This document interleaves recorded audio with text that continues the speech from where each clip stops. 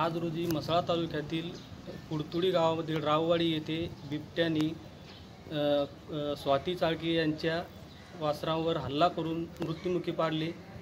त्या घटनास्थळी जाऊन आम्ही प्रत्यक्ष घटनेचा पंचनामा केला व त्यांना काही नुकसान भरपाई मिळण्यास मदत व्हावी या हेतूने आम्ही कार्यतत्पर आहोत.